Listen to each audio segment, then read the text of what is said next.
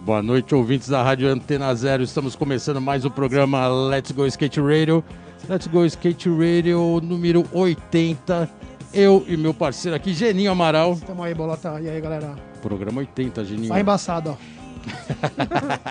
Tá pegando. É, a pandemia tem essas coisas, né? Embaça até a lente. O negócio tá diferente. Mas estamos aqui, né? Firme Mas estamos aqui, programa 80. 80, E eu acho que velho. isso aí chamou fazer um, um programa, vamos dizer assim, especial, né? Um programa número 80. Foi até uma sugestão de um entrevistado que teve aqui, direcionar um pouco mais para os anos 80, né? E com quem sabe, né, velho? Participou É ativamente diferente, né? Porque hoje muita década. gente fala, né, velho? E nunca nem viveu a parada. Então hoje a gente vai trocar ideia com quem vive. É, e hoje, hoje a né, gente vive num momento que assim, o que contarem pode até se tornar uma verdade, né? É, Mas quem então. tava lá sabe que não Sabe é. que quem não é era e quem não assim, era, né? né? É E verdade, hoje a gente tá mano. com um entrevistado aqui especial para representar os anos 80, que a gente direcionou para isso, que praticamente atuou em todas as pontas do skate, lá no começo da década. Organizador de evento, competidor profissional, montou equipe, foi team manager, montou uma marca e tá aí até hoje. Vocês vão saber quem são, que a gente pode até anunciar aqui agora, né? Por favor, né? Por favor. Ah, peraí, o cara que me influenciou muito também, uma foto Ih, aí, ó. do biplente, mano. Biplente. De cima do carro da polícia, velho. É, a baratinha, Tá né? Porra, que foda. Galera, hoje, Anuncia, né? vamos anunciar. Hoje a gente está aqui com a honra de ter entrevista com Márcio Tanabe. Márcio Tanabe! Márcio, valeu, obrigado, por ter Obrigado, vindo Márcio. aqui. Pô, Programa agradeço. 80, especial nos 80, que é um ano que realmente você atuou em várias áreas, né? Pode dizer que de quase todas as áreas possíveis do skate você teve uma participação direta. Os anos 80 foi uma década para não se esquecer mesmo? Eu acho que para o skate brasileiro, os anos 80 representaram a construção do, do que está acontecendo hoje. Né? É, a gente teve uma onda de skate nos anos 70, mas era uma exploração de alguns empresários, é, investidores de brinquedos e, e entretenimento, enfim. É, algumas empresas que jogaram dinheiro lucraram alguma coisa com skate e quando a onda baixou, os caras recolheram e jogaram em outro lugar. Nos anos 80 foi construído um mercado pelos apaixonados, né? Era gente do skate construindo as marcas, as revistas, os eventos, programas de TV. Então, tudo que existe saiu dali, né? Foi ali a primeira construção. Mas peraí, você, tá, você resumiu os anos 80, né?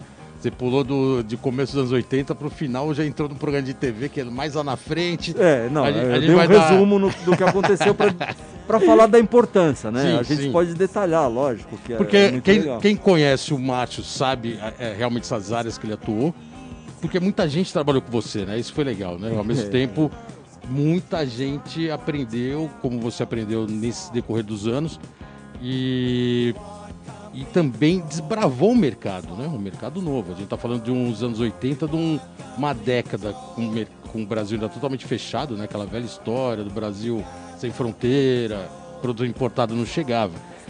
Mas isso tem, tem uma sequência para chegar nesse apogeu aí que você colocou. Sim.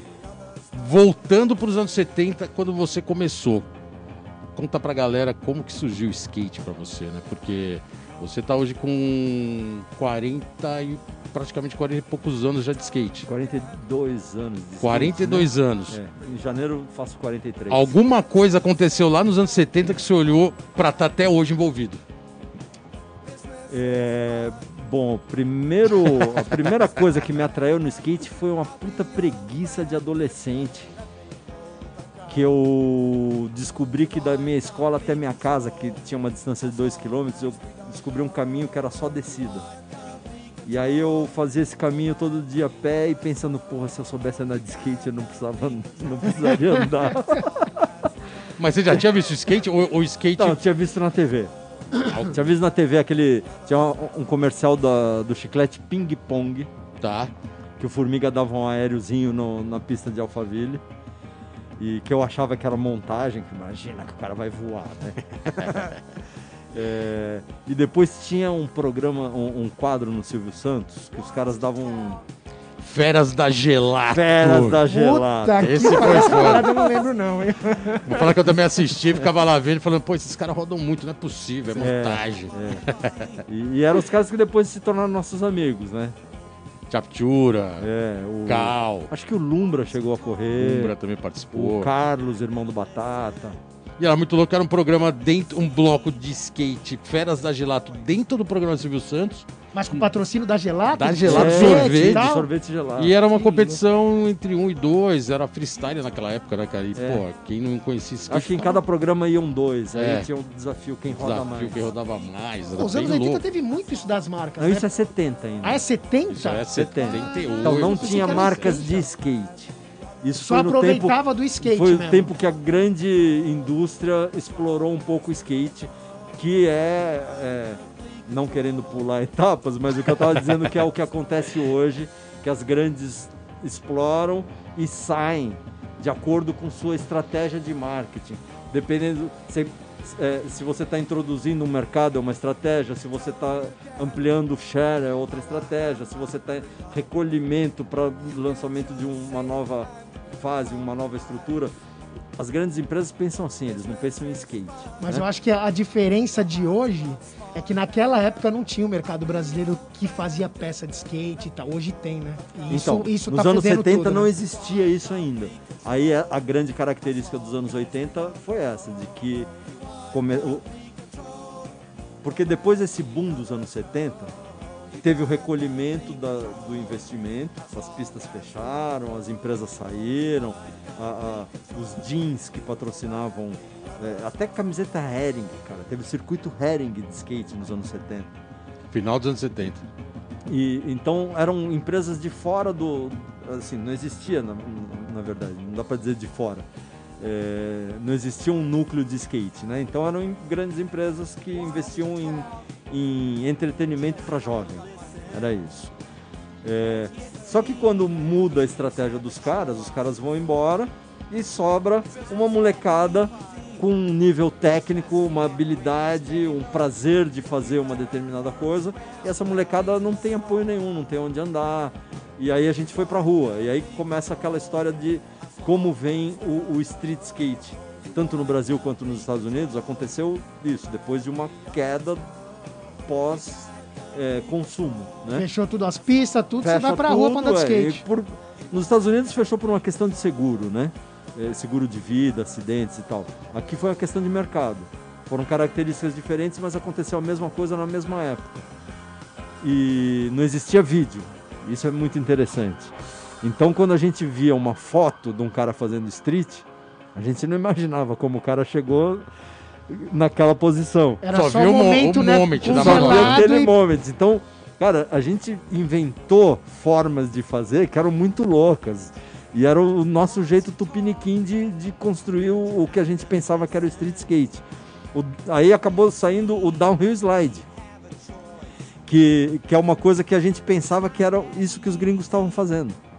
A gente não sabia que, que a gente estava fazendo uma coisa que só fazia aqui no Brasil. E, o... e na verdade, essa foi a...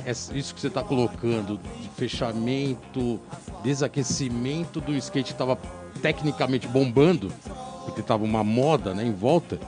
A palavra moda fez parte, né? Porque aí realmente o Sim, skate, asso- sim. o skate some, do jeito que surge já desaparece. Saiu e da fica o moda. questionamento de, pô, então era uma moda. É. E aí a palavra Como- moda cria força. É, era, não sei se você- ouvia isso, mas comparavam com boliche.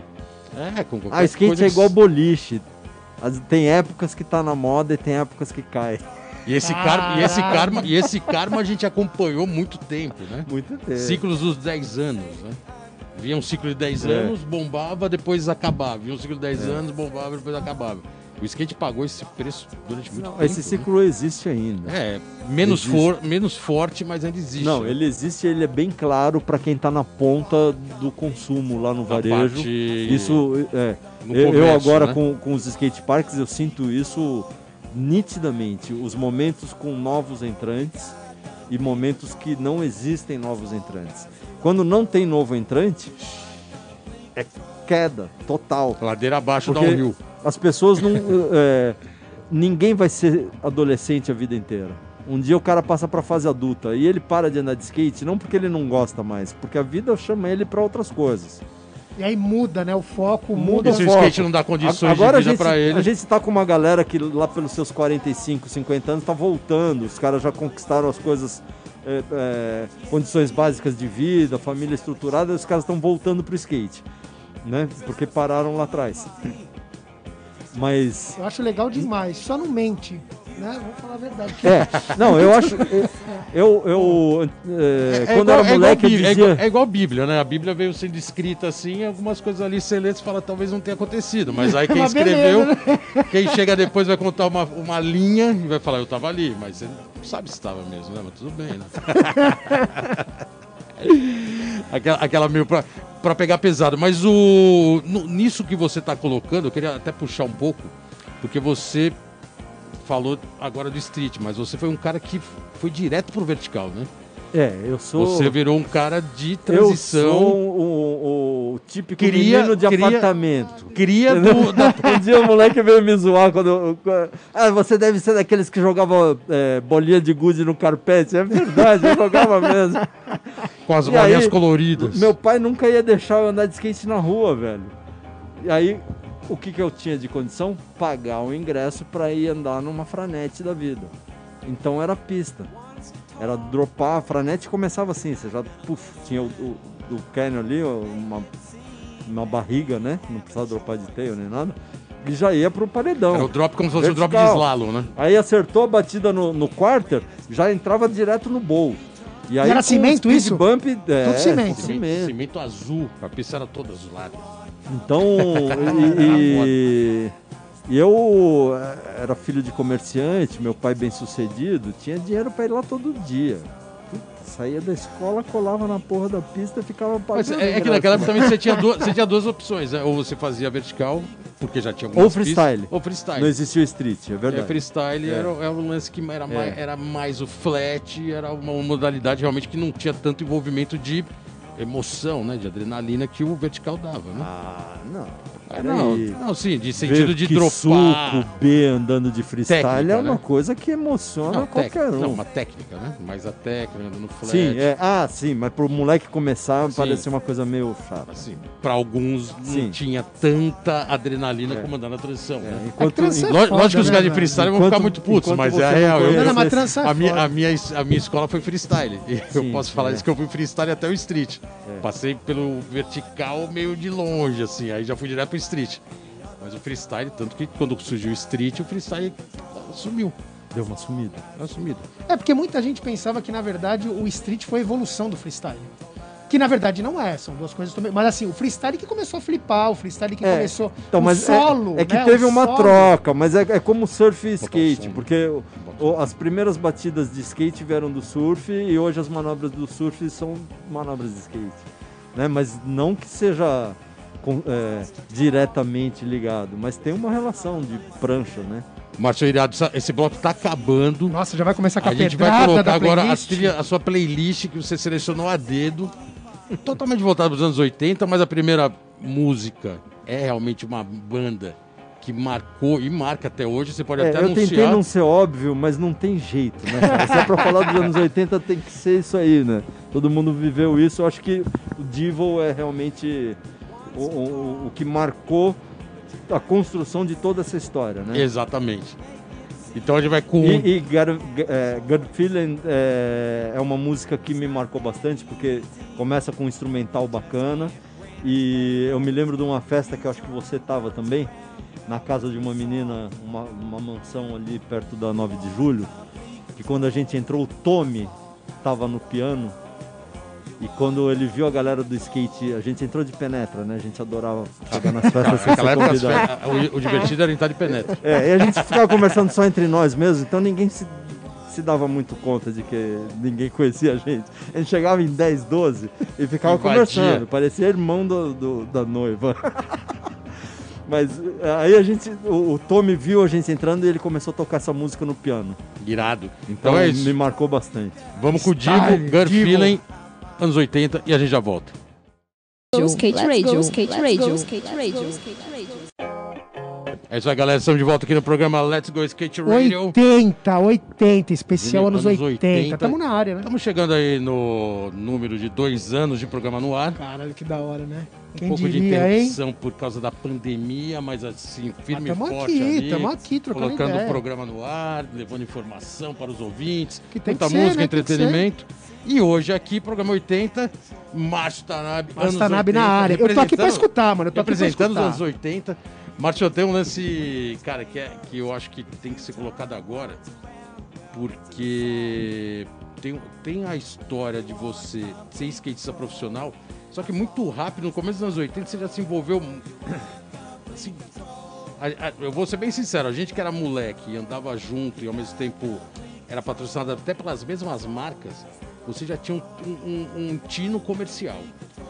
E aí, algumas marcas você já encabeçava ali de estar coordenando. Lightning Bolt, você já estava ali meio coordenando, parecia um team manager. É, logo no começo da década também organizou o campeonato. Esse tino comercial é, e, é assim, de empreendedor vem da onde? Você acha que isso veio do skate? Ou isso Não. você acha que você já tinha esse, essa visão empreendedora eu que isso do, tem uma influência do do, do meu pai, muito forte, dos negócios dele. Meu pai é, é um cara que foi um cara, né? Ele já faleceu, mas ele foi um cara que estudou pouco, mas um japa trabalhador pra caralho e que fez muito dinheiro com alguns negócios que eu vi ele fazendo. E com criatividade, indo pra cima e tal, ele era um cara de muita iniciativa. E eu acho que eu herdei essa iniciativa. Agora, eu tenho a impressão de que a entrada no mercado de skate, tem impressão não, eu observo isso, eu, eu tenho com clareza isso, que o Jorge Cuji era o cara que tinha contatos e visão. Eu tinha impulso, eu, eu- eu tinha, eu ia pra cima. Por exemplo, Lightning Bolt, quem entrou primeiro no Lightning Bolt foi o Cuji, lembra disso? O Cuji também como roller, né? Quando, é, quando ele andava de patins. Andava de patins. Ele entrou- Patins com oito rodas. Com oito rodas, isso. ele entrou, ele arrumou um patrocínio Lightning Bolt, me deu a dica, falou o nome do cara, deu o endereço e aí a gente foi. Você foi comigo. Sim. Eu, meu troféuzinho de primeiro lugar do Wave, do Wave Champ, né, lá no Wave Park. E aí a gente chegou lá. Então era uma coisa, no meu entendimento é isso. O Cuji tinha essa visão, ele tinha esse entendimento, ele tinha os contatos. Mas quando ele tocava a bola pra mim, eu chutava pro gol. E aí eu fui pra cima e virei team manager da equipe. É, eu acho que uma Team coisa manager numa época que o nome nem existia, Nem né? nem existia. existia. O, o É. termo team manager. É. né? Não, então, mas acom- acabou acontecendo isso, porque aí eu botei você na equipe, botei Sim. o Ari, botei o Teco. o Teco, mais pra frente o Porquê. Acho que até o Salada correu lá em cima. Botei todos os meus amigos. na O parada. Hércules porco do Patins. Que da hora. Não, o Porco entrou pela conexão do Cuji. É, sim, roller, né? Tinha que entrar pela conexão do, do Cuji. Eu chamei o que, basicamente, o que foi depois a primeira equipe que eu patrocinei com a minha fábrica de tênis, quando eu comecei a Eu fábrica. coloquei isso porque na sequência você também já organizou um evento que ficou muito conhecido, que foi, melhor, ficou Entrou pra marcante, história, né? Que um dos, o, o primeiro ladeira, campeonato de ladeira, Murumbi, era uma organização sua. Sim. E ali É. com um carro parando no meio da rua, chamando a galera, um negócio. E, e- e parando para observar hoje isso, eu fico imaginando, falando, cara, se hoje é difícil fechar uma rua, fazer um campeonato, em 82 era muito mais difícil, ninguém queria fazer. É. Até porque ninguém nem tinha esse entendimento, né? Sim, Vou sim. fazer um campeonato, vou fechar uma rua. A coisa é tão burocrática que. Nem eu tinha, você acha que eu tinha? Que style. Mas fazia, né? Não, Mas fazia. Era meio anarquista. Não, bem, a mas ó, o primeiro evento mesmo, o primeiro evento mesmo foi o do Ibira, O do, da Marquise. no sábado. E, e o Ibira foi um impacto fudido. Eu era muito moleque. Eu tinha 18 já? Será? Eu tinha 17. Acho que eu tinha acabado de fazer 18. Você já tinha carro, né? Pelo menos levava a galera pra é, session, mas eu né? ganhei carro com 17. Como eu disse, meu pai era um empresário bem sucedido. eu ganhei o carro com, com- quando eu fiz 17 anos. E, e aí o João dirigia, né? Quando era pra, pra ir mais longe. É, O João era o único amigo da turma que tinha carteira Que tinha de habilitação. carteira. Esse carro, qual que era o carro? Era o Chevette ou era a Caravan? Cara, A Caravan, né? É, A Caravan era, marca, a Caravan bela era uma barca, né? Cabia gente Cabia pra toda a galera mano. de skate e tudo. Um monte Era de um carro- skatista dentro da, da, um, um da Opala carrega. Caravan naquela época era um carro de luxo. É como se fosse uma SUV hoje. Um... Exatamente. É, Não, mas é, É, era o porque era carro gigante. de ponta, Chevrolet. Cabia Era, até uma jump ramp dentro. é, era o que tinha de melhor. Que E na verdade era, era muito engraçado isso. Isso aí é, um, é, um, é um- é uma história assim meio, vamos dizer, que não deveria nem ser contada. Mas tinha uma época que a gente até parava no meio da rua para levantar uns carros e pe- pegar o pneu e sair correndo. Mas isso aí já era o Aí Chevette, isso né? já era o Chevette. Então, porque, porque aí já não tinha mais o papai do- Ah, é. subsidiando. Já não tinha um, papai não tinha um era- subsídio. Era um empresário bem sucedido, mas era conservador pra caralho. E aí eu fui expulso de casa por causa Ai, das tretas todas que a gente abusava. Porque o- o- uma coisa que marcou os anos 80 é a contracultura, né? A gente viveu a abertura do, do- do- da, da ditadura, né? Os caras começaram a abrir, inclusive abrir as portas para viagens e, e gente voltando. Aí os, os exilados políticos estavam voltando para o Brasil com os filhos que tinham a nossa faixa etária. E aí foram se formando bandas de rock com, com letras contest- contestadoras. E, e aquele movimento de skate na rua, com movimento punk e com outras bandas que vinham acontecendo, criaram uma cena muito interessante, muito rica em termos de, de contracultura mesmo. A gente O skate começava de dia e terminava na madrugada. na madrugada, no Porque já emendava na balada, já emendava no show, já emendava no underground e emendava com todo mundo. Então, vocês pensavam que ia virar esporte olímpico? Não de você isso. ter que, ter que né, seguir um monte de regra, um monte de. Porque sempre foi um bagulho livre, né? Skate sempre foi um Ah, pra bagulho falar a verdade, naquela época que você falasse de Olimpíada, todo mundo ia falar que talvez Era nem contra. soubesse, nem soubesse o que era. O que era? Porque era tão distante, né? Um esporte Não, é, a gente foi contra por muito tempo, né? totalmente contra. Não, era, era por cultura ser contra uma Olimpíada, era por, por cultura ser contra evento grande. Então a gente pode dizer que essa época o skate era muito mais ligado à arte do que ao esporte. Ah, Sim. né? De sim, você. Né? Sim. Pô, se quiser andar com moicano, Estilo de vida calça- de verdade. Aquilo Style. era estilo de vida de verdade. Era muito menos esporte. Tanto Muito que- mais atitude, É, né? Agora de- eu me lembrei de uma frase muito engraçada do, do Mureta, que um- isso é anos 80, ele falou essa besteira. Não, besteira não, essa coisa muito engraçada. Que alguém perguntou, é, um entrevistador de TV, num, num campeonato, mas você acha que skate é esporte? Aí ele falou assim, se ping-pong é esporte, por que, que skate não vai ser? Caralho, Mureta é. É, o Mureta era engraçado porque ele, ele, era, Velho. ele era competitivo, mas ele era underground ao mesmo tempo, né? Era um. um- tinha, tinha muito isso, né? Dele ser culturalmente punk, mas um cara competitivo, né? Um cara que ia pros campeonatos, competia, tinha. É, ele competia porque eu insistia, né? É, também.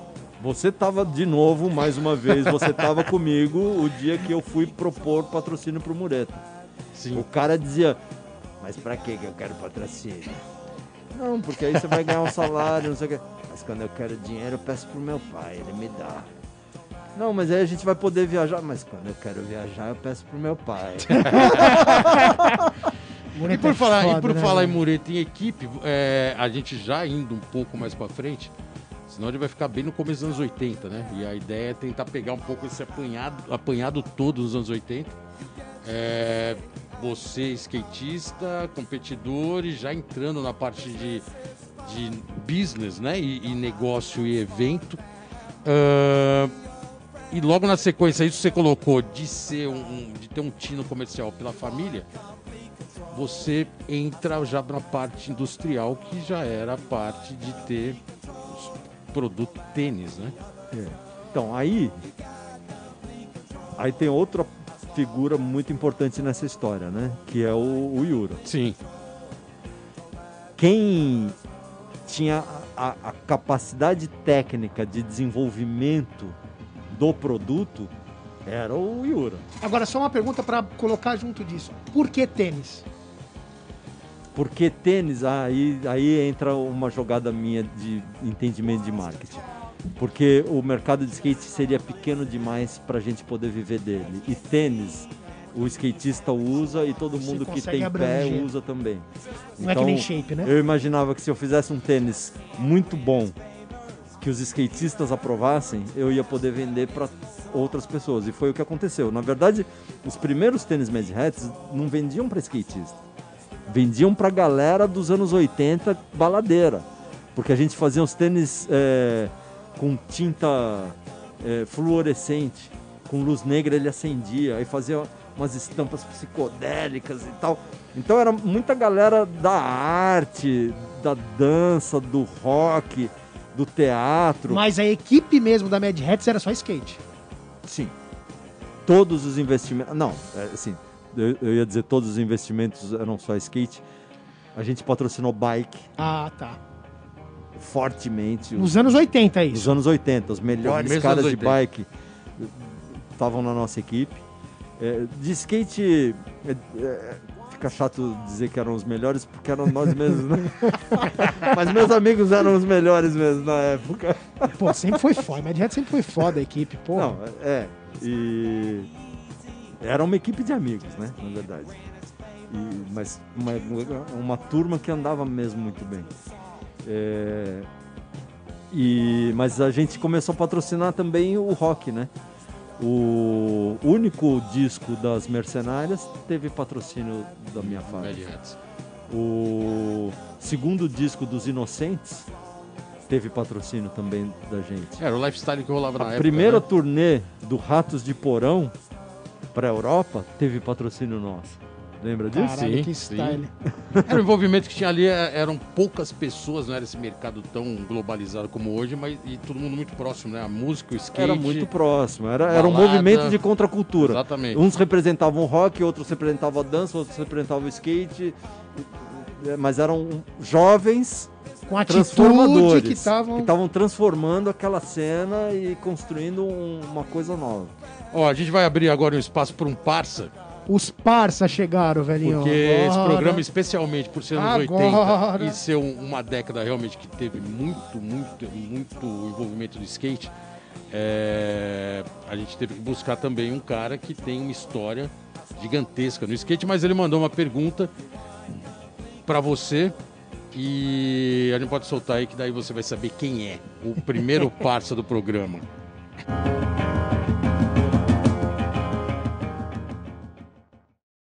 Márcio Tanabe, um dos grandes visionários do skate. Nos cruzamos várias vezes em eventos que você editou na época da Mad Wrestling. Não, não foram poucos, não. Muito campeonato, não, meu velho. Meu, eu queria que você falasse daquele evento que veio o Steve Cabaleiro, o Omar Hassan, o Bob também estava botando a maior pressão. Acho que era um half pipe que era coberto com uma tenda azul. Lembra aí como é que foi a missão de colocar o evento no ar num site com transmissão zumbi, ou seja, semi ao vivo. A gente gravava uns clipes, escrevia uns textinhos, jogava no ar usando internet de escada. Lembra aí? Conta essa história aí pra galera. Irado, valeu Cezinha, brigadão. Esse- essa foi a participação do Cezinha Valeu, Chaves. Cezinha, obrigado. Se você mano. não sabe o que é o Cezinha Chaves, desculpa. Eu, eu posso dizer que você pode até desligar o programa, mas assim. Mas, mas pode estar ouvindo também. Chave mestra. a gente, a gente não, não fica zangado com isso. Mas o Cezinha faz parte da história do skate. Mais do que todos aqui, até porque ele é o mais idoso de todos, é o mais velho, no bom sentido, e mandou a pergunta desse campeonato. Sabe que Internet de Internet de escada, E ele é um que cara da televisão, né? O, o- nos anos 80 eu fiz um evento chamado Momento Angular, lembra com o JB? Que era JB. na Livraria Cultura lá na Avenida Paulista, quando a Livraria Cultura era aquela pequenininha. Aí tinha um, um espaço de eventos lá em cima, que era também um bar e tal. Sim. E aí a gente fez várias palestras. E eu sempre me orgulhei de dizer que fiz o primeiro campeonato de, de street skate dos anos 80, eu montei a primeira equipe, o primeiro contrato com salário em dinheiro foi o, o contrato do Porquê na Mad Hats, e, e também foi coisa que eu fiz. E primeiro campeonato ao vivo pela TV foi eu que fiz, blá, blá. Mas o dia que o, o Cezinha foi dar a palestra, foi muito louco que eu descobri que eu fiz a primeira vez nos anos 80, mas a primeira vez da história no Brasil foi o Cezinha que fez. Tudo que eu fiz nos anos 80 ele já tinha feito nos anos 70. Irado, né? E esse evento que ele está falando aconteceu na verdade em outubro de 2000, foi bem depois. Mas o, o, o que é interessante essa história é que eu e o Cezinha nos unimos para fazer uma coisa que ninguém tinha feito. Porque a internet estava chegando, era por, por internet de escada, cara, Discada. linha telefônica. E a gente já queria fazer streaming. Visionário. Tem, tem foto dele operando os computadores no, embaixo da tenda azul do campeonato. Pô, na hora que entrou três pessoas, travou tudo. Mas a gente estava lá brincando. Depois, é, em 2007, 2008, a gente já fez com muito mais tecnologia, tudo, com, com Irado. streaming já e tal. Mas é uma coisa que eu sempre brinquei. Inclusive, eu fiz uma faculdade depois de velho, que o meu TCC era streaming de vídeo. E o Cezinha, monstro, né? na- nas imagens de vindo de televisão, um cara que também foi pioneiro, né? no- nos- na O- tela. O Cezinha, além de ser pioneiro, ele foi hum, por muitas vezes o meu mentor.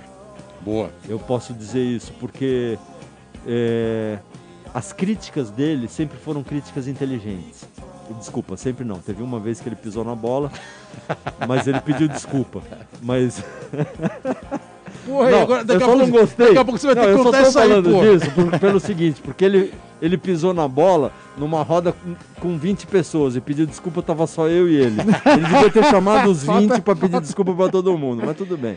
Boa. Mas é, considerando que ele me ensinou muita coisa e me orientou em diversas das conquistas que eu fiz, tanto dos anos 80, 90, 2000, enfim, é, sempre tive muito o Cezinha como minha referência. E Irado. por ele ser um pouco mais velho e por ser realmente um cara inteligente. Não, e E, tem que e ter realizador, né? Realizador, exatamente. Tem que ter máximo respeito e volto a repetir. Se não sabe que é o Cezinha Chaves, você pode até desligar o programa, mas depois você Não, chama gravado. no Google lá. Você não sabe, chama no É. Google. É o seguinte, acabando o bloco, mais uma Playlist, música, né? Playlist, Marcelo. Agora você vai voltar aquela música que tem muita recordação e na volta a gente vai contar um pouco mais Bob sobre ela. Dylan, Hurricane. Mas eu quero, não, vou ter que contar essa história. velho. Você contar o porquê dessa música, pô. sim, sim. Essa música eu ganhei o campeonato da Wave Park com essa música. Boa. Irado. E, e aí ela, daí pra frente, ela passaria a ser a minha música de competição. Até que chegou em Guará, o, caí na mesma bateria que o Sérgio Negão. Ele corria antes de mim. E na volta dele ele botou essa música. E aí todo mundo cantou junto, bateu palma, Bateu. não sei o quê. E você não sabia? era Você não Sérgio- sabia? não, nunca ia imaginar, era a minha música. E, e Sérgio Negão já era, nesse momento, um cara que andava muito, né? Já tava andando melhor que eu, inclusive. E, e, porra, o próximo era eu. Vou correr com a mesma música do cara que anda melhor que eu.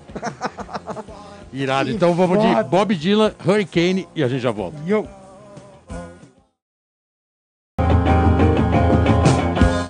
É isso aí, galera. Estamos de volta aqui no programa Let's Go Skate Radio. 80, né, velhinho? Número 80, 80. Caminhando tamo para aí. dois anos de trabalho Tamo ininterruptos. Aí, aquela ideia forte do skate, né? Muita ideia. E hoje aqui entrevistando Márcio Tanabe História. Skate puro, né? Muita, Muito envolvimento, né?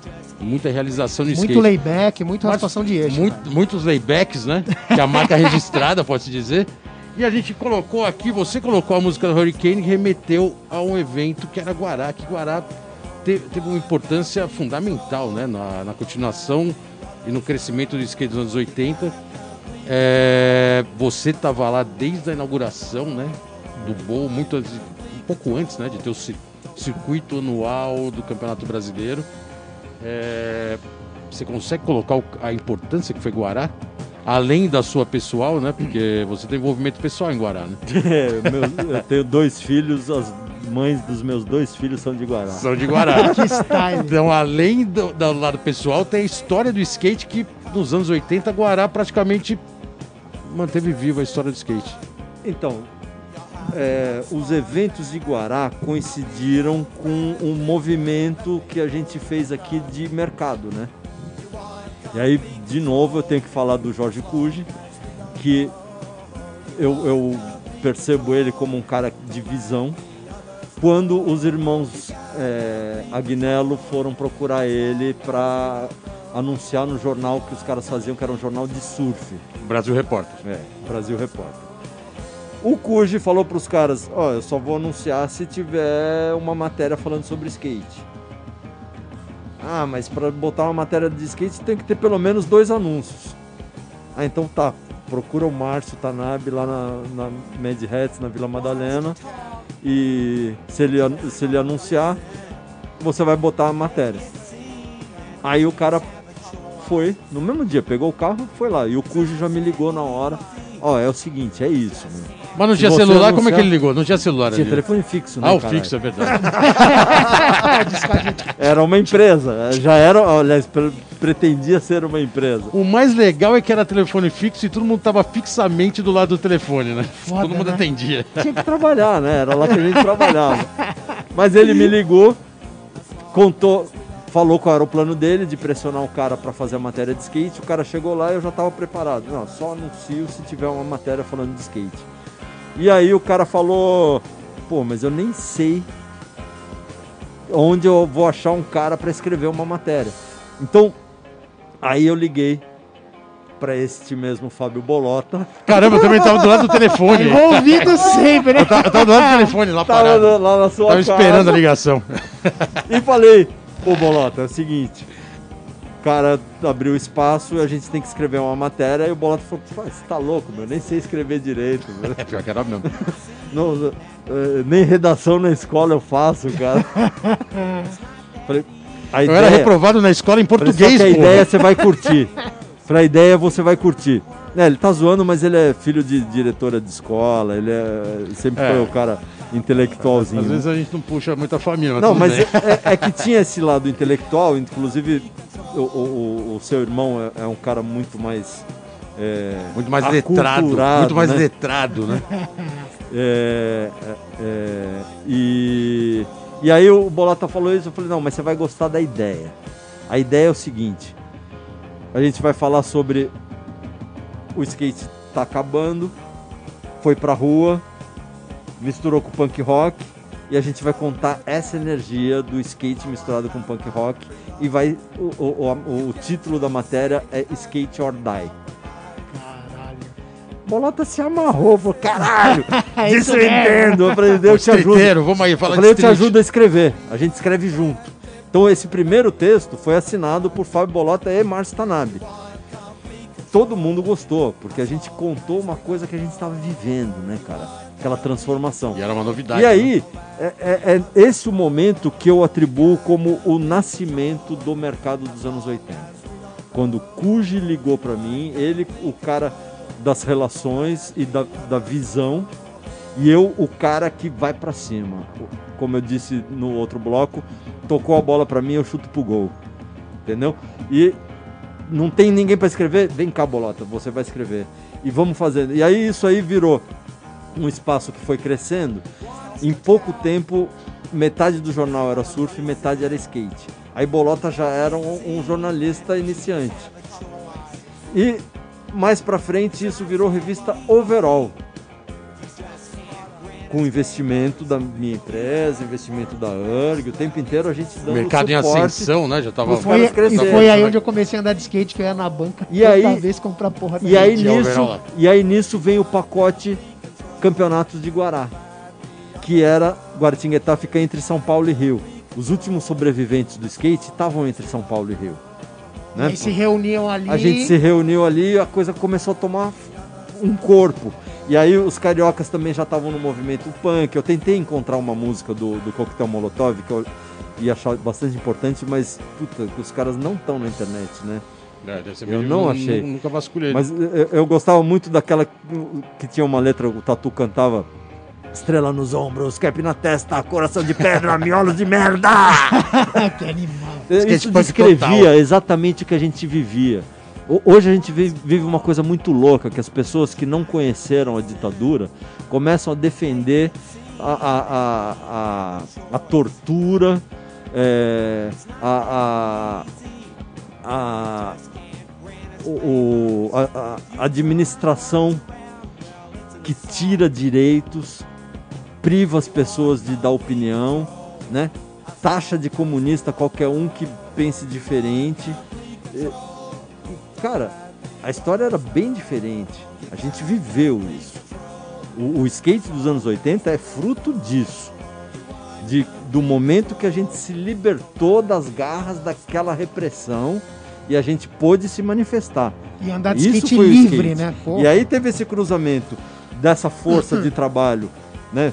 eh, Visão de Cuji, entendimento técnico e criativo de, de Iura, eh, eh, esse impulso de, de ir para cima e realizar meu, o, o Bolota se formando como jornalista, aí daqui a pouco a, a tribo cresce, o Califa vem perguntar, ah, eu queria um cara que tenha estudado jornalismo, eu tinha conhecido o Girão lá em, no Campeonato de Guará, Aí depois conheci ele em Floripa, ele trabalhava no jornal Estado de Santa Catarina, já indiquei o cara, já veio, botei ele para morar na minha casa. Quer dizer, era uma casa que eu tava saindo, eu dividia com uma galera, eu tava saindo, o girão entrando. E então toda essa movimentação era uma coisa que acontecia na- por amizade, por vontade de fazer. A O verdade Ma- do o, skate, o, o né, Márcio cara? acabou de indicar um entrevistado que agora já está intimado a estar aqui no Let's Go para concluir o que ele está colocando, Jorge Cuji. É, Cuji, É, eu não vai acho fugir que- não. Agora você está intimado a comparecer ao Let's Go Skate Radio. Sim, eu não consigo falar de, de anos 80 sem, sem falar de tudo isso que muitas vezes teve um, o, o chute pro gol dado por mim, mas com a semente plantada pelo Cuji, entendeu? Ou pela bola tocada no meu pé. Quando ele via que eu tinha uma condição, ele tocava a bola e eu ia para cima. Então, eu acho que essa construção de união é outra marca importante dos anos 80. E que fez dar certo, né? A gente foi veio os campeonatos de Guará, a gente patrocinou os campeonatos de Guará. Isso que era o grande E barato. os campeonatos de Guará era sempre Bow e Banks? Era sempre nos dois ou não? Sempre bowl, Bowl. e freestyle. E freestyle. Ah, depois veio o Banks. O Banks veio depois, né? A construção do Banks Banks Banks. veio bem depois. depois. Tá, tá. E Banks isso- não é muito da minha escola de skate, É viu? mais o Bow mesmo, o Bowl. redondão. E isso que você colocou de o Banks, não, o Banks não é sua escola, mas a escola de Guará também é, colocou vários é, valores, né? Que é o Caquinho, que você patrocinou, que hoje pode-se dizer que é uma lenda do skate, né? Porque ele gerou, ícone, né? Influenciou gerou uma, gerações. uma gerações de Família pessoal, mais né? skate, o Família Gui, Caquinho, porra, né? O Gui, É o, foda. E o Vi hoje como profissional, né, de o parque Vi, né? aí. Bem louco isso. E naquela época ele era uma criança andando em Guará, um, um local de Guará, uma criança, né? Andava pra caralho. muito. né? E, e eu descobri o Caquinho sem ver ele andando, né? Eu- não sei se o Bacaro pôs isso no Vida Sobre Rodas, porque eu não assisti o filme. As pessoas falam, como você não assistiu? Eu já vivi a história, depois eu fiquei duas É, horas e é- meia contando pro é cara. engraçado isso. Aí eu Eu preciso assistir vou, vou ver o filme, caralho. Sei lá, mas bom, se ele não pôs no filme, o- eu tava na piscina do clube de Guará e eu vi uma criança com a vozinha Uma bem vozinha, né? fininha, com aquele sotaque né, do interior, falando pro, pro outro como que dava indié. Aí ele falou que tinha que subir, jogar, pegar, blá, blá, blá. E eu fiquei ouvindo, falei, nossa, esse pirralho, ele descreve o indié direitinho, né? Aí eu olhei pra trás, um nenê bochechudo, assim. falei, caralho. Ô moleque, você sabe dar indié ou você só sabe falar? Lógico que sei. Ó, de tarde eu vou querer ver você andando, hein? Se você der indier mesmo do jeito que você fala, eu vou te dar um patrocínio. e aí de tarde, pô, o moleque dava uns puta indier style. Não, já. revelação total. E era Guará, um né? neném, cara. Guará bombando forte. Mas só tem depois do. Bom, já tem essa cena toda de Guará, os campeonatos rolando, e aí tem uma marca sua que assim já vieram falar aqui no programa, que é- não tem jeito. Isso tá no, tá no histórico do skate, que é o famoso campeonato. Até o, o, o executor de teto veio aqui, né? Que é o famoso campeonato do Objetivo da Paulista, que era parte de um circuito Mad Hats, que também na época tem um circuito em vários estados e lugares inusitados, como foi o objetivo, também era um diferencial, uma assinatura sua. E teve a famosa história do Mureta arregaçando Não, o cara, teto, isso. que isso cara, marcou gerações. Não, né? e, e não, então, a minha geração, deixa eu falar, porque isso aí pra mim Por foi favor. foda, porque hoje eu comento os campeonatos na TV e tal, e aquela época eu tava sentado no sofá assistindo a parada, né? Então é, é muito louco. E era um campeonato ao vivo pela TV, Então, né? o campeonato ao vivo. E o Márcio na locução. né? Com dois microfones. Muito um, foda. um eu narrava para as pessoas que estavam na arena e o outro para as pessoas que estavam em casa. E sabe o que eu acho muito TV. foda disso? Porque assim, Mureta, estilo, atitude, e Lincoln Eda, adolescente, perfeitinho, backside, tudo. Mureta desencana, me dá quatro aéreos e me quebra o teto, velho. E marcou uma geração Não, tipo, até um bagulho hoje. que você fala. Eu olhava e falava, meu, eu quero dar aéreo. Eu olhava aquilo e falava, eu preciso dar aéreo. É, isso tem uma história muito louca, né? E a Paulista lotada, né? Parou a Paulista lotada. Cara, porque toda vez era- que eu passo naquela, Não, mais naquele legal. lugar, eu olho pro Era teto, proibido andar de skate em São Paulo. cara. Ah, era aquela época, É. então? Época do seu Jânio Quadros. Sim, mas eu, obviamente, fiz. Primeiro, em agosto, durante a proibição, eu fiz o campeonato na Ladeira da Morte, com transmissão ao vivo pela TV Cultura. Lotado de negro. Época Só de que- Fernandinho Batman? Época de Fernandinho Batman já. Só que a gente conseguiu autorização para fazer o evento, porque a Nancy, vocês lembram da Nancy? Pô, nasci braço direito, né, pô? Meu braço direito, o, o Girão costumava dizer que era o Márcio de saia. Porque a Nancy é minha metade. Tudo que eu fiz de evento, tudo que eu desenvolvi, tal, é metade eu, metade a Nancy. Não tem. Ninguém fez mais do que o outro, a gente fez junto. E. é, e aí, o que, que eu tava falando? Por que, que eu falei da Nancy? Porque você tava causa do falando do, campeonato. do campeonato que foi na época do auge do- da proibição do Jânio Quadros Ah, e meio sim, o a Nancy, meio a. Nancy era professora de educação física na universidade, na USEC, na época. E ela entrou na prefeitura pedindo a rua para fazer um evento com atividades esportivas. Professora universitária de educação física. Os caras deram, emitiram a guia, paguei as taxas e comecei a divulgar. Na semana do evento me ligaram da prefeitura. Não, a gente não sabia que era skate e tal. Mas, pô, não pode ser lá porque mora um juiz nessa rua, ele é amigo do presidente do CET. Ah, essa é a história da Ladeira da barará. Morte. É, e caralho. porque fumaram maconha na- na- no muro da casa dele na hora que a mulher dele tava chegando e os caras estavam com o skate na mão e tal. E aí o cara queria proibir. Só que eu já tinha pago, pago as taxas. Então já era, né? Aí os caras da prefeitura disseram, só que é o seguinte, se você fizer, o- se você não aceitar outra rua, eu posso te dar até a Rua da Consolação. Mas se você não tirar da, da, da Rua Varginha, vai ser a última vez. Eu falei, Beleza. é, beleza, eu vou fazer o E o último. bagulho explodiu, né? Explodiu. E o Explodiu, Downhill, o, né? o Downhill Bombou. no auge, né?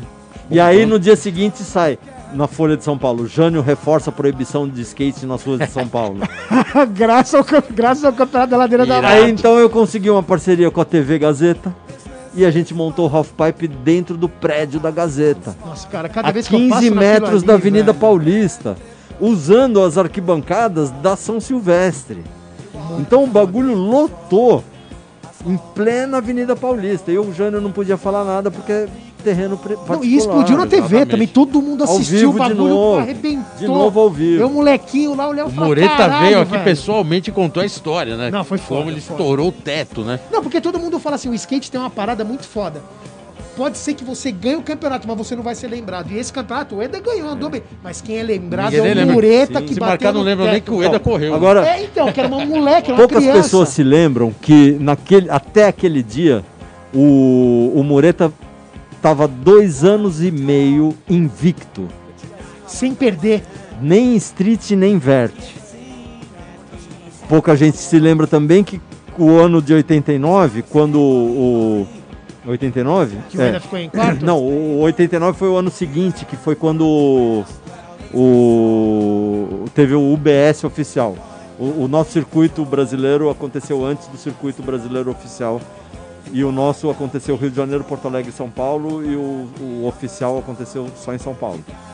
É, mas o, o Mureta correu as etapas de street, ganhou todas que correu.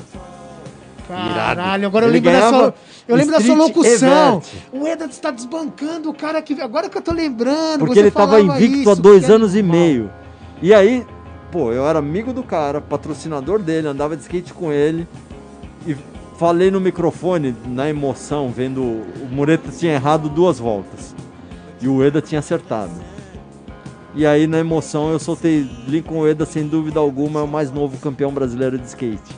Mureta do outro lado da plataforma olhou pra minha cara e falou: Você tá louco? Não acabei. Caralho. Aí eu, puta, me senti meio mal, assim, falei: Realmente, o cara não acabou.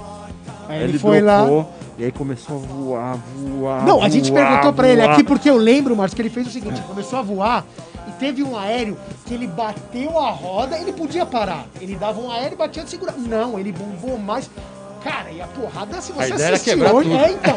A ideia foi quebrar tudo. destruir. é. Foda, Não, eu achei foda. uma puta atitude Foda, fantástica. foda. História do, caralho. skate, cara. Irado, é, a gente vai fechar esse bloco. Esse bloco tá sendo especial, cada bloco tá sendo especial, né? Acho que uma hora e meia de programa já não é mais, duas também acho que também tá estourando.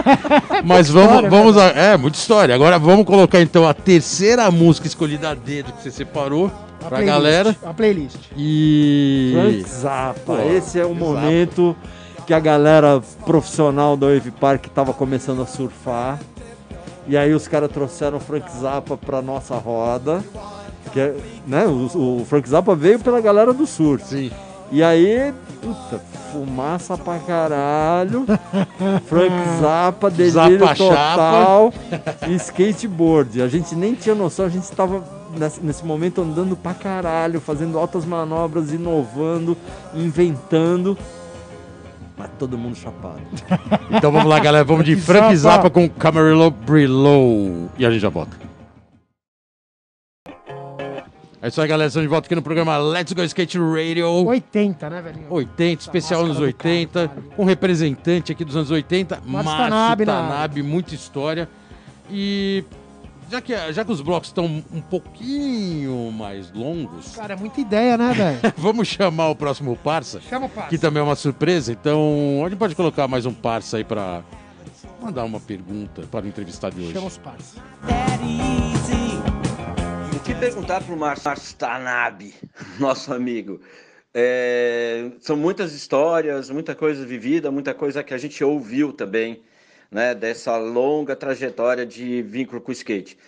Mas assim, eu vou resumir numa pergunta, assim, já que não que é, que é isso, né? Dessa vez tem que ser dessa maneira. Márcio, é o nosso o campeonato o Tribo Skate World Cup Skateboarding Contest, que foi o mundial de 98 no Brasil. Fala para nós ali dessa construção, o que que, como é que foi, aquele desafio que você abraçou. Tivemos o apoio do Bob, da World Cup e ali o suporte ali da equipe da tribo. Por favor, fala aí para nós como é que foi isso para você essa experiência. Isso aí, Sérgio Girão, Girão. participando do programa. Skate puro. Sérgio Girão também que teve aqui uma história importante em São Paulo, né? Um imigrante do, de- do sul. É brincadeira, hein? Meu parceiro na tribo durante tanto tempo. É... Márcio, esse campeonato foi muito inusitado, né, cara? Que o primeiro mundial no Brasil, a gente nunca esquece, né? Primeiro mundial de skate. E, além de ter acontecido, também teve muita história por trás, né? Que ninguém sabe. Uma delas que eu gostaria de colocar aqui é a história da, da banda Charlie Brown, né? Uh, essa Que- é divertida. Essa é divertida e foi a mais traumática, né? pra, pra você, principalmente. Principalmente que ia pra ser mim. preso no meu lugar. Achei que ia ser preso. A gente foi até parar lá no Dake pra dar depoimento. Falei, puta, eu, não, Fudeu. eu jurei pra mim que eu não entraria numa delega por nada. e lá tava eu indo por causa da história de um campeonato de skate. É, mas foi um campeonato inédito e, cara, na boa, foi totalmente é, marcante na história de skate. Primeiro mundial no Brasil. É. Então. Ibira, é, né? Ibira, né? Ibira. Ibirapuera. É, a gente já falou aí que eu tenho essa característica mesmo, é da minha personalidade, de ir pra cima, né? Então, quando a fábrica de tênis quebrou, no, no- no- na época do Collor de Mello, né, logo depois do Collor de Mello, eu fiquei sem emprego, aí teve aquela situação de eu acabar entrando na tribo como um, um prestador de serviços, que teria um resultado de porcentagem de todo o crescimento da empresa. Acabei virando, tendo status de sócio depois de um, um ano e meio de trabalho. Mas eu trazia já da indústria aquela coisa do, de fazer eventos para divulgar os produtos, o, o tênis, né? E a Nancy vinha com a coisa técnica de organização desportiva e eu sempre com um entendimento de mercado. Então, sempre casando isso. E, e a gente vendeu muito tênis fazendo campeonato pelo Brasil todo, né? É, eu tinha um sócio que cuidava da parte industrial e financeira e eu e a Nancy ficávamos viajando o, o Brasil todo fazendo campeonato.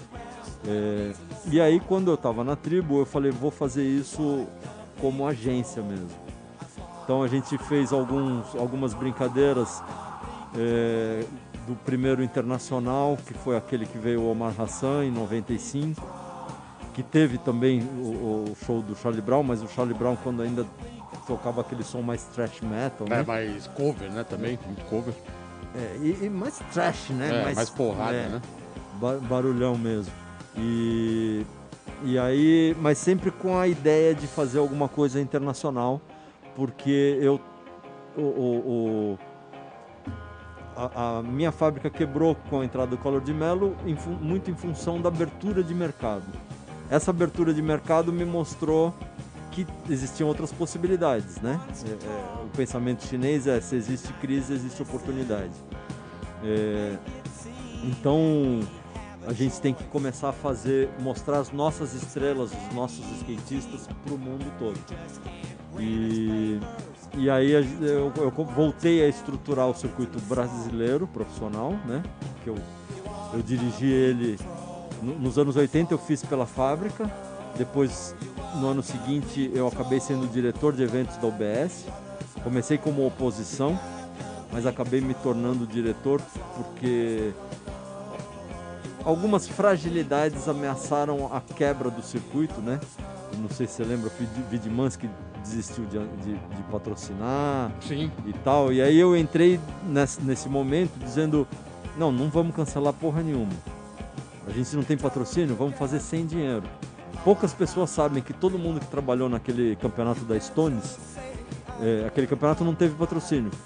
E todo mundo que trabalhou, trabalhou de graça. Mesário, locutor, juiz, todo mundo. E isso foi uma cobrança minha. Eu falei, eu vou assumir como diretor de eventos e eu intimo cada um de vocês a trabalhar de graça. E a gente fez a porra do evento. E o circuito continuou e foi até o final, e aí eu continuei como o diretor. Bom, nos anos 90, eu. O, o Girão foi eleito presidente da UBS de novo, em 96, e eu diretor de eventos mais uma vez.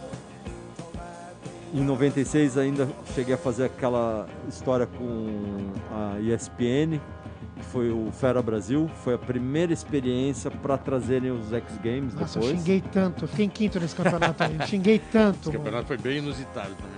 É, mas foi um evento muito interessante, apesar do frio, né? As pessoas me xingaram muito porque estava fazendo frio, mas eu não sei se alguém entendeu que eu não tenho controle sobre a temperatura do planeta. Previsão mas, do mas tempo, naquela por época favor. acho que a, a- a criançada não entendia e achava que a- o frio era culpa minha. E, e aí é, eu com essa, essa movimentação, a ESPN fazendo experiências para X Games, junto com a tribo a gente já tinha feito o primeiro internacional, estruturando o circuito profissional com transmissão pela TV a cabo, que estava entrando no Brasil a TV a cabo, eles precisavam de conteúdo. Eu tive esse entendimento rápido, botei meu terninho, fui pro Rio de Janeiro negociar, né? Uma puta polêmica se devo ir de terno e gravata ou não. E, tal. e, e conclusão foi positivo porque eu, eu consegui abrir algumas portas porque eu estava ali com a minha fantasia e de, de terno e gravata, né, como executivo de responsável e tal. É, já tinha usado essa estratégia quando eu fiz o evento da, da fábrica com a Ma- Madeirite, né? Eu ia nas reuniões sempre de terno e gravata e tal. As pessoas acreditam mais. Até e ouvir. gravata e bermuda. É, mas aí depois que, depois que o cara começou a escutar a minha conversa, o, inclusive o diretor, o Marcelo Machado, que era o diretor. Não, não, não foi ele, foi o Roberto Machado, que era o vice-diretor da TV Gazeta. Ele falou uma coisa engraçada quando a gente fez aquele campeonato da Paulista. Falou, pô, o primeiro dia você veio na reunião de terno e gravata. Na outra reunião você já não tava de gravata. Na outra, você tava com uma calça rasgada na bunda e com silver tape tampando o buraco. Eu falei, ah é? O blazer não cobria? Eu pensava que o blazer, o blazer cobria. Aí depois você já não usava mais sapato. Hoje, falta um dia pro evento, não dá pra cancelar mais. Você entrou na minha sala sem bater na porta, de bermuda e chinelo, cara. Skatista, é bem louco, hein? Skatista. Então, enfim. Você bota a gravatinha, você abre a porta, aí depois você troca ideia, o cara vai até, até achar engraçado você andar de chinelo. entendeu? Ó, eu, que- eu queria aproveitar agora. é, Colocar mais um parça. Parça tão, que mano, a porque- 300. Que velho. emenda um pouco essa história de evento, aí você já conclui até com outros eventos importantes que você fez. É o próximo parça que vai fazer essa pergunta. Que É um parça parceiro, né? Também já teve aqui no Let's Go Skate Radio. Opa! Então vamos colocar mais essa surpresa aí pro programa especial número 80. Fala galera do Let's Go Skate Radio, Sandro Testinha da ONG Social Skate na área. Pô, entrevistado de peso hoje mesmo, hein? Márcio Tanabe. Pô, mano, vou fazer uma pergunta não, deixar aqui um, um comentário aí pra vocês recomentarem aí na sequência, né? Pô, conheci o Márcio aí já tem um tempo, já umas décadas já. É, pô, como empresário, né? Bem famoso como empresário, depois como produtor de eventos, aí nossos caminhos se cruzaram, eu fazendo locução, ele iniciando lá o, o Sampa Skate, que marcou história, né? Grande escola de skatistas aí de São Paulo. Circuito mais democrático de skate, esse sim, né? Por conta de chegar em todas as periferias, gratuito, né? Um tratamento para quem tinha 30 patrocínio e para quem não tinha nenhum. Então acho que fez história. Eu tive a honra, a honra de narrar talvez 99% do Sampa Skate. Só não pude mesmo quando eu tinha compromisso inadiável. Acho que deu uns 100 eventos, talvez três eu não narrei. O resto eu narrei com muito orgulho e honra. E foi uma grande escola, né? Então pode falar desse período aí do Sampa Skate, que foi uma grande escola para grandes nomes do skate brasileiro que hoje brilham pelo mundo aí. E, pô, pra mim também foi uma grande escola. É isso aí, parabéns, Tanab, pela sua trajetória aí, profissionalismo e skate na veia. Valeu, Testinha, Te- Testinha na Social House, brigadão aí pela demais. participação. É, o Testinha falou que o próximo campeonato que ele for na rádio vai fazer só através de live. Né? É, porque a live faz parte da vida dele como um café da manhã. Está Caralho. presente em várias lives. Isso é, é que eu brinco com ele sobre, Sobre programação. Ele tem umas cinco lives por dia. É, valeu, Testinha, brigadão. É, Samp Skate foi um, um circuito importante pro skate, para você também como empreendedor e organizador de evento.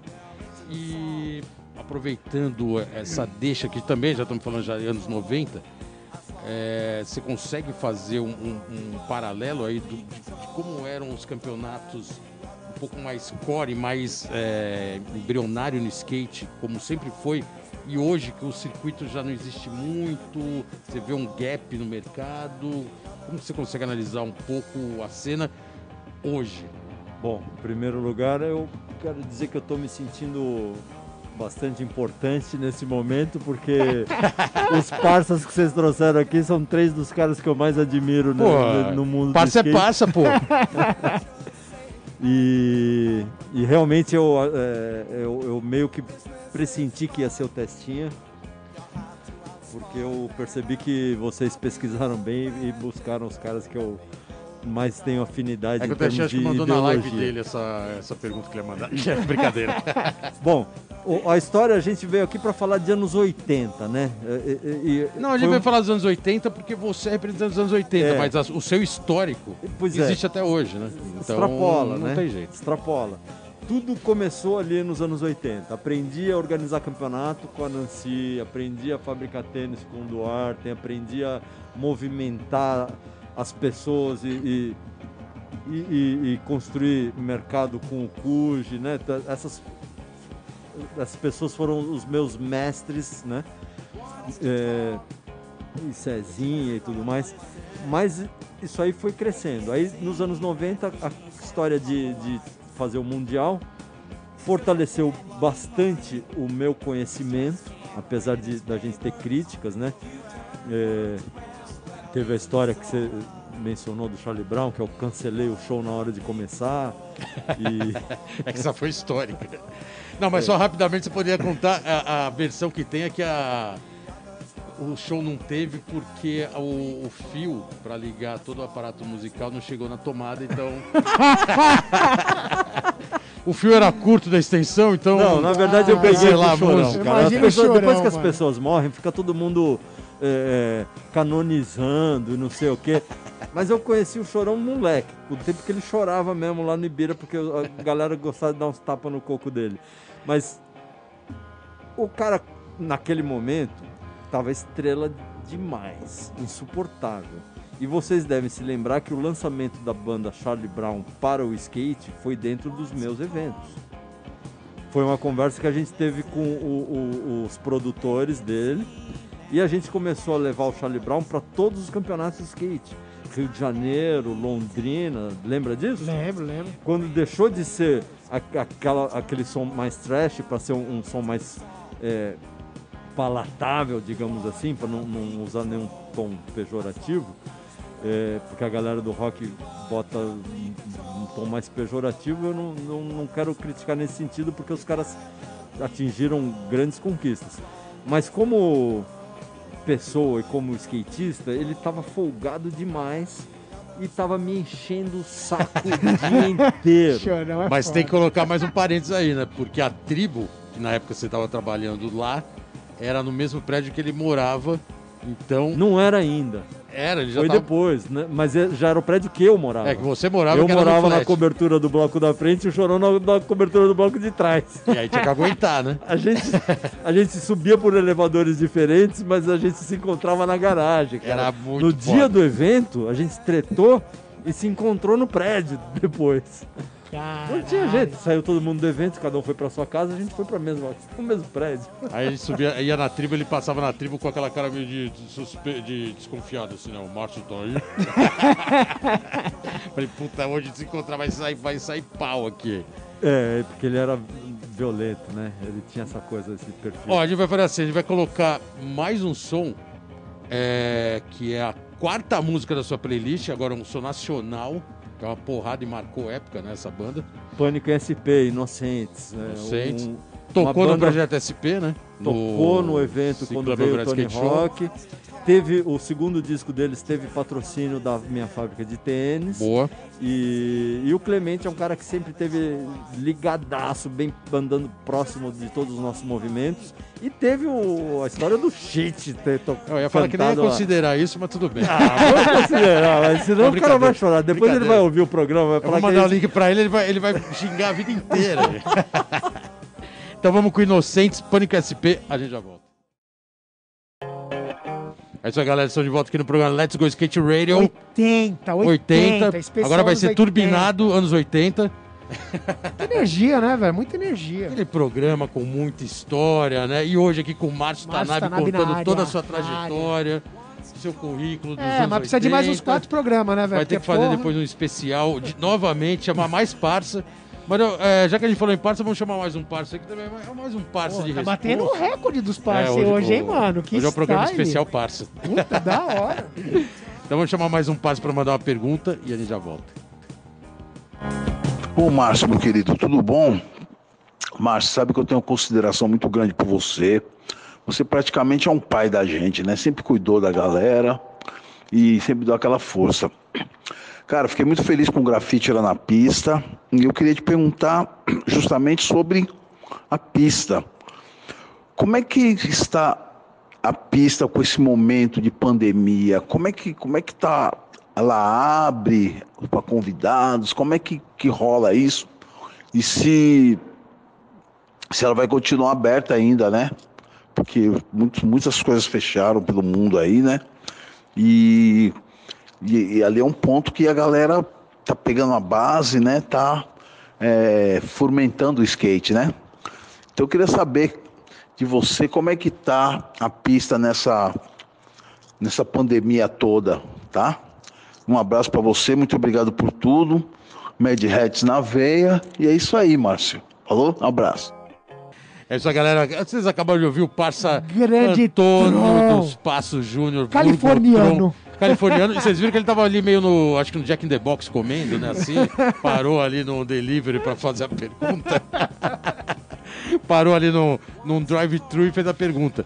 É, eu acho que é legal essa questão porque, um, hoje você, pulando já todo esse capítulo de, de empreendimento dos das décadas anteriores, você hoje está com duas skate parks, Skate City, e num momento realmente inusitado do mundo, com pandemia, fecha-se todo, todos os comércios do mundo e a pista de skate particular tem também uma finalidade comercial que é estar porta, de porta aberta.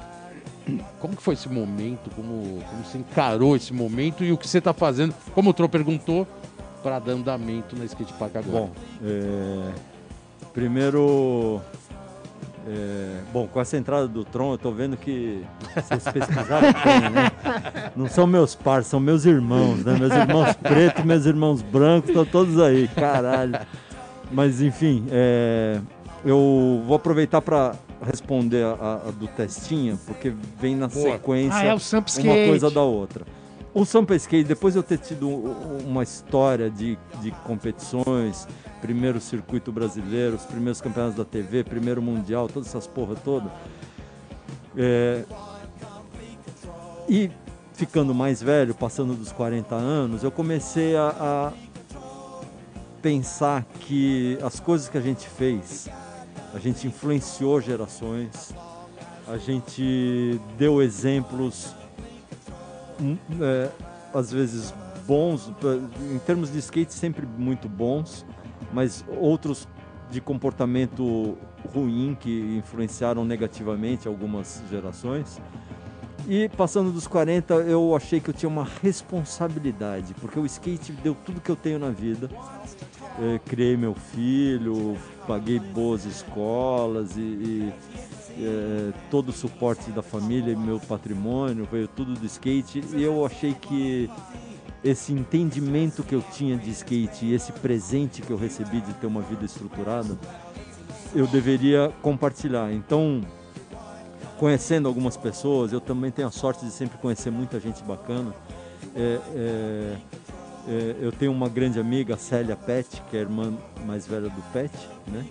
E que trabalhava com Gilberto Dimenstein, que re, faleceu recentemente. E a gente começou a discutir a a força que a gente tinha de diálogo na periferia. Mesmo eu sendo um cara de mais de 40 anos, por eu ser skatista, eu percebi que eu conseguia conversar com um garoto de 15, 16 lá no Jardim Ângela ou lá em Taipas, Guaianazes, cidade de Tiradentes, tudo quanto é canto, a gente fala a mesma língua. É... E aí então veio a ideia de fazer um projeto social com skate e a gente começou a construir isso para valorização da identidade cultural dessa garotada, para intercâmbio eh, de pessoal da Zona Norte com Zona Sul, Zona Leste, Zona Oeste, Centro, é, e, e valorizando o direito do cidadão. Então a ideia era é, a gente também teve um presente, né? A Marta, como prefeita, construiu mais de 40 pistas. Quando entrou o José Serra, as, os funcionários de carreira da Secretaria de Esportes, eles tiveram a seguinte é, missão. Descubram o que a Marta não fez. A gente quer fazer mais pelo skate. E aí eles fizeram uma pesquisa e chegaram em mim. Então, muito diferente do que as pessoas pensam, eu nunca fui bater na porta da prefeitura para pedir dinheiro. A prefeitura me procurou, pediu para eu desenvolver um projeto que a Marta não tivesse feito. E eu, o que eu observei foi, a Marta construiu coisas fixas, ela não deu vida. A gente vai dar vida. Os céus, né? É. E, e aí a gente, a gente precisa de é, mudar o dia a dia desses garotos da periferia esses meninos precisam se sentir cidadãos. Eles têm que, eu quero que eles entrem num, no ginásio lá da favela onde eles moram é, e encontrem uma pista de nível de campeonato internacional com inscrição gratuita e, e só anda amador. Mas eu também não dava prêmio o, o Ed da confederação me ligou e falou: Ah, fiquei sabendo que você vai fazer um, um campeonato, um circuito com inscrição gratuita. Cara, eu preciso te avisar que a eliminatória vai durar uns três dias, porque vai ter muita gente. Eu, não, Ed, o nosso evento ele tem uma outra configuração e não tem premiação, ele só tem troféu, medalha e pontos. Ah, então não vai ter ninguém correndo. Bom, a gente chegou a ter 1.246 competidores num mesmo ano. E tratando o jovem como cidadão, dali saíram Kelvin Hoffler, Letícia Buffoni, Ivan, Monteiro, Thiago Lemos e outros grandes nomes que Pamela Rosa, eh, grandes nomes. puta, não dá para lembrar todos, cara. Eu gostaria de falar todos, mas eh, são vários desses estriteiros que estão representando o Brasil pelo mundo, são os melhores do mundo na atualidade. E, e, e dão, dizem nas entrevistas que a escola de, de competição deles foi o Sampa o Sampa. Skate. É, e não era um projeto de alto rendimento, era um projeto que formava cidadãos. Então, o que eu vejo que tem muito valor nisso é que quando você investe em cidadania, em direitos e, e valoriza a identidade cultural de cada ser, é, você cria campeões para Você vida. transforma de verdade. Qu-? Quando começou, o Samba Skate começou quando e ele tá. Ele, O Ele Sampa ativa até Skate hoje? começou. É, ele tá funcionando É, é, é, o Sampa Skate começou com outro nome, com um circuito circuito municipal de skate na gestão da Marta, com a- em parceria com Alexandre Youssef, que era coordenador de da juventude. Foi o primeiro cara que deu essa abertura para a gente fazer o que a gente acreditava que era o que tinha que ser feito. E aí depois, quando entrou o Serra, ele quis dar essa abertura e aí ele falou, "Quero- quero criar um nome que marque essa nossa gestão. E aí cada secretário foi botando um nome, aí chamou depois Copa Sampa Skate, mas enfim, é o Sampa Skate que todo mundo conhece. E, e vários desses caras, Kelvin, Pamela, Letícia, todo mundo já falou, aprendi a competir no Sampa Skate. Isso é uma coisa de muito valor. E aí eu fui ficando mais velho. E meu filho saiu de casa, foi para Los Angeles, né, é, estudar, né, disse ele que ia para estudar. Eu até questionei, falei, por que você não vai estudar na Europa? Ah, não, porque em Los Angeles tem surf, skate e snowboard. Eu falei, pois é, mas você não está indo Califa, estudar? Né? Bom, enfim. Um belo lifestyle, né? É, não, eu tô brincando com isso, mas é, o moleque é, é tudo de bom. Ele realmente abandonou a faculdade porque ele está crescendo muito no, no- profissionalmente e nesse momento vale mais a pena ele trabalhar do que fazer faculdade. E, mas enfim, eu fui me vendo envelhecendo e sem a responsabilidade de criar filho. Então eu pensei, vou me aposentar. Eu tinha comprado já o, primeiro galpão lá no Bom Retiro e, e montei a primeira pista com rampas que eu não usava mais nos campeonatos que eu organizava. Mas aí acabou o Sampa. Não. O projeto ainda continuou. Não, o Sampa Skate ainda existe. É- Aconteceu agora em dezembro do ano passado. Teve etapa. Esse ano, esse ano Pandemia, não né? existe Não tem. evento. é. Se não tivesse pandemia, estaria Tava, o rolando. circuito tava em cima. Eu estaria tentando. Estaria pra. Tá. É, Existe um problema mu- é, muito tóxico. A gente não ia falar sobre política, mas agora não. Não tem como não- fugir, né? O, o Sampa Skate está esbarrando no, no seguinte: quando ele nasceu, lá na gestão da Marta, com, com o Alexandre Youssef, ele era um evento honesto, com as contas calculadas na mesa, todo mundo junto. O Sampa Skate, idem. Os funcionários de carreira, que apesar de estar trabalhando para o José Serra, eles eram petistas é, e, e tinham muita admiração pelo que a gente tinha construído na gestão da Marta, participaram da construção do orçamento e o Sampa Skate também nasceu como um projeto honesto. Só que é, eu, eu- uma marca de sempre dar o chute e né, ir para cima e tal, né, ir para cima e tal, mas muita gente me copia. Quando eu fabricava tênis, o mercado inteiro fabricava tênis igual o meu, não era nem igual o Vans, né? Era igual o meu. É, aí depois a gente foi pra tribo, cara, a gente teve uma onda de todo mundo fazer revista, cara. É igual Todo live hoje em dia, opa, não, país pode falar de live. Aí quando eu comecei a fazer campeonato amador, todo mundo começou a fazer campeonato amador, é impressionante. E aí a galera começou a achar que o dinheiro tava na- nos governos. E aí então foram bater na porta. Ô, você tá fazendo com o governador. Tanabe, por que, que você não faz comigo? E aí começa a conversinha. Ah não, mas o cara me entrega tudo que eu quero. Ah, Mas eu posso fazer algo mais que ele não faz. E, e esse algo mais, ele gera negócio. E o poder público aprendeu a fazer negócios com os caras que dizem que representam skate, mas eles representam negócios de interesses financeiros para as partes envolvidas. Que apenas. podia ser bolinha de gude, podia Então, ser o que for, não é? O skate, o, o Sampa Skate, ele tem se esbarrado nessas dificuldades. Então eu fui abandonando muito essas ideias e falei, vou fazer um, um skate park que me dê dinheiro, o imóvel é meu, eu vou ganhar um pouquinho E eu vou andar. e vou me aposentar. Que style. Aí anunciaram a Olimpíada, acabei fazendo mais um. Mas na, na pandemia, o que acontece é o seguinte: a gente não tem altos custos. A gente é imóvel próprio, eu não pago aluguel.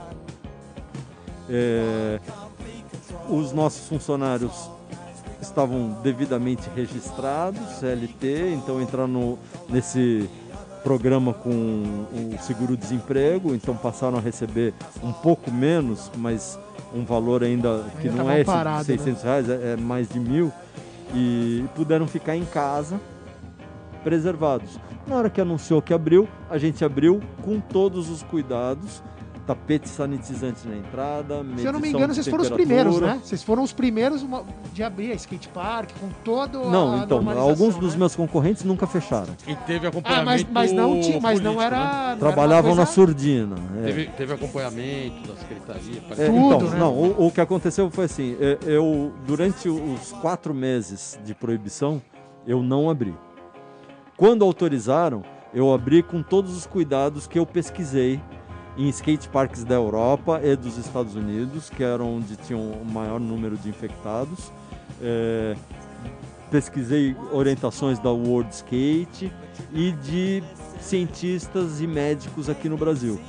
Então, formei um protocolo com medição de temperatura, O álcool gel, toda marcação de, de, de a cada dois metros de distância para as pessoas dentro da pista e tal.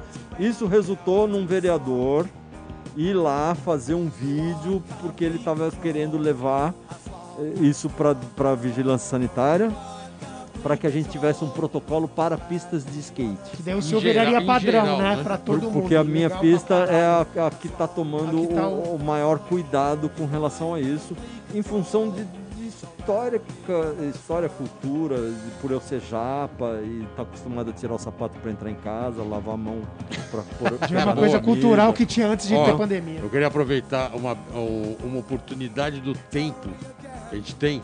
Eu vou colocar mais um parceiro. Caralho, os pergunta. parça tá foda. Esse aqui eu prometo que é o último parça. Caralho, vamos ver o que, que você achou, Programa né? especial parça. É, vamos colocar mais um parça que veio de longe e a gente já volta. Fala Márcio, meu camarada. Aqui é Alexandre Calmon. Me diz uma coisa. Como é que você vê essa nova idade das trevas que vivemos hoje em dia, em que o dólar se torna caro de novo e que o skatista brasileiro, praticante, amante do esporte, passa a ter pouco dinheiro e voltamos às migalhas. Qual seria a nossa solução? Um grande abraço, meu irmão. É isso aí, galera. Calmon. Esse foi Alexandre Calmon, vulgo Xandinho do Rio de Janeiro, mandando a sua pergunta Valeu, Calmon. Caraca, tava faltando Xandinho. hein? sobre as migalhas. Vamos falar sobre as migalhas hoje do skate.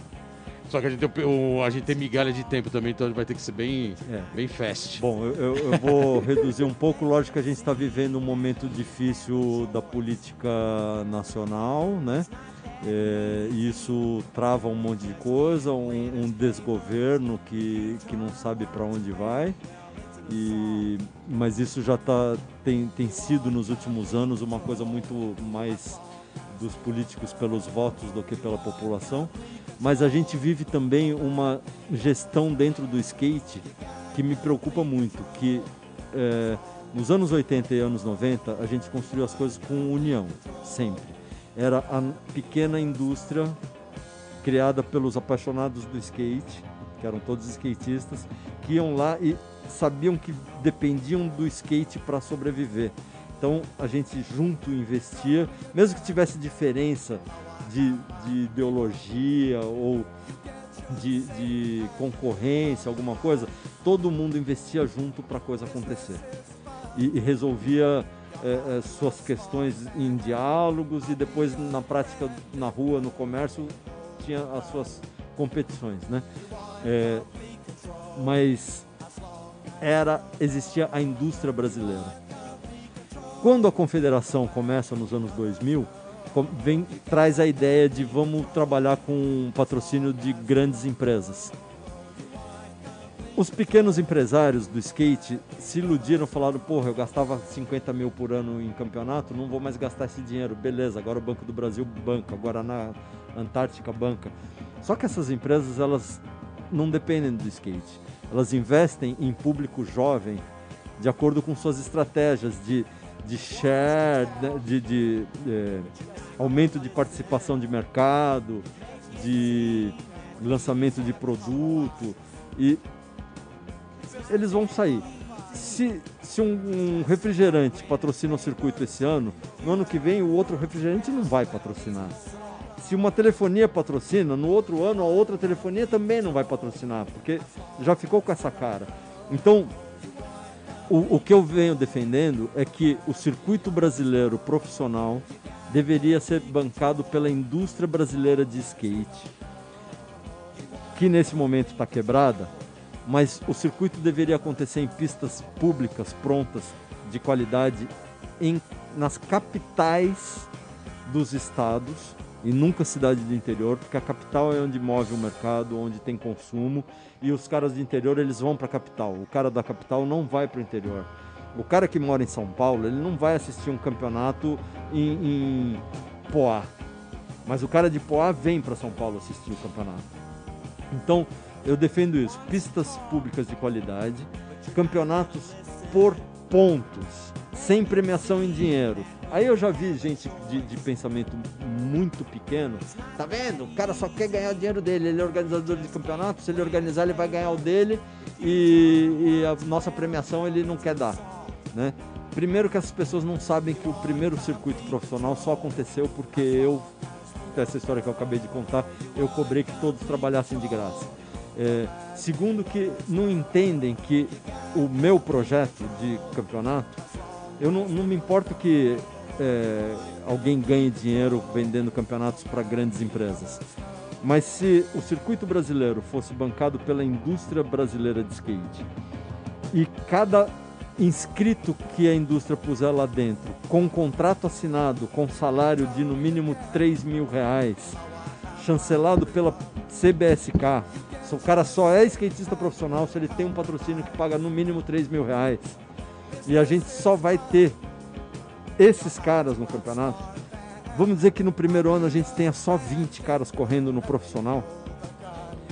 Mas, é, e quando tiver os grandes eventos, os caras não precisam fazer triagem, não precisam fazer eliminatória, eles vão e pegam os 20 melhores do ranking que já estão lá. E vão ser 20 brasileiros brasileiros que vivem no Brasil e não brasileiros que vivem na gringa, que vêm aqui visitar a mãe, os 10 pegam a premiação toda e, e levam embora. embora.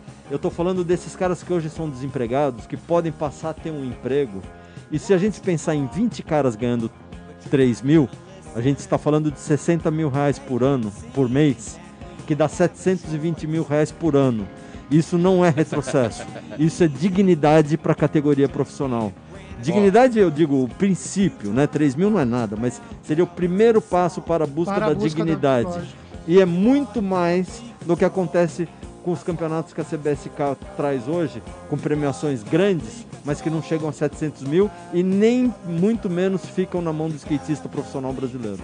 Então vamos pegar esse ponto no próximo bloco. A gente vai agora colocar uma música, a quinta, a, quinta a penúltima música, música pedrada, da sua playlist. Velho. A entrevista está quase chegando no final. É...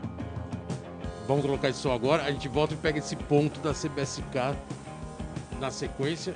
Mas antes gente vai chamar essas músicas que você selecionou a dedo do programa 80.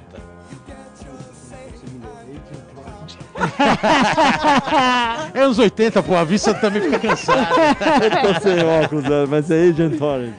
Então vamos de Agent Orange, Live the Darkness, a gente já volta. Skate puro. Skate Radio. Skate Radio. É isso aí, galera. Estamos voltando aqui no programa Let's Go Skate Radio número 80. 80, 80, mas já estourou tudo. Já né? estourou, Tempo, o já, programa mano, de é uma hora e meia virou história duas, ainda tinha muita conversa. A gente chamou um próximo bloco que infelizmente não vai existir, porque realmente estourou. Vai ter que ter parte 2 e parte 3 do Márcio. né? Márcio Tanabe, história do skate, ainda vai ter outra oportunidade. Então, é, infelizmente a gente vai ter que terminar esse programa agora, Márcio e ouvintes. E, e queria agradecer, né, lógico, sua presença. Valeu, Márcio, Agradecer valeu. aí a Eu que correria. agradeço a, A gente sabe que você tá oportunidade numa e- correria. E bastante emocionado com os parceiros todos que vocês foram buscar. Pois é, o programa trouxe mais parças do que o normal. Incumpridou o programa. Mas, pô, espero que a galera tenha gostado, porque realmente a gente contou uma história de skate desde os anos 70 até hoje, né? Com bastante ilustração e bastante detalhe. Geninho aqui também é uma, é uma presença viva dessa, aí, dessa tamo aí. trajetória. Essa semana eu tô lá dando uns grind lá no bolzinho, hein? No Corretino eu tô lá, hein? Tô lá. É, mas é isso, Márcio, brigadão. Valeu aí, é, parabéns aí por, por toda a dinâmica, né? E toda a carreira que você criou no skate. Agora com as pistas de skate aí abertas. Tem muita história ainda para contar, por isso que vai ter um programa em breve. E também aproveitar e parabenizar pela sua nova filha, né? Parabéns, Márcio, alguns, alguns, meses. Violeta vai completar oito meses agora no dia 22. Irado. É isso, cara. Obrigadão. Microfone aberto, considerações finais. Manda bala. E a gente volta na próxima semana. É, bom, só para fechar então essa é, deixa que o, o Xandinho deu, eu acho que é, os dirigentes do skate, de modo geral, deviam se informar um pouco mais sobre a história, entender dos formatos que deram certo, como foi que a gente chegou aqui, como foi que essa construção aconteceu. E em vez de ficar cometendo erros que já aconteceram e desprezando acertos que já foram é, evidentes e, e fortaleceram essa estratégia, né? essa estrutura toda. Então, se essas pessoas deixarem de ter esse pensamento brazuquinha de viver o aqui agora e achar que sabem tudo e olhar um pouco para o que foi construído, acho que podem aprender muito e, e manter essa história por mais tempo. É, a palavra chama respeito. E a gente vai terminando aqui esse programa Let's Go Skate Radio, 80. um programa estourado. Da hora, Vindo da na hora, sequência, mais a programação aqui da Rádio Antena Zero. Agradecimento geral. Eu e Genial Amaral área, aqui presente. a Vans, Vans, tamo junto. Vans, obrigado aí. pelo apoio, tamo junto. Antena 55 Zero, vídeo aqui, Chiclé, Rodrigo, Chiclé. Rodrigo. Tamo junto, semana que vem tem mais, programa 81. E é isso aí, valeu. Semana que vem Let's tem mais radio, Let's Go Skate Radio. skate. Skate na veia. Você ouviu pela Antena Zero Let's Go Skate Radio. Produção e apresentação: Fábio Bolota e Geninho Amaral.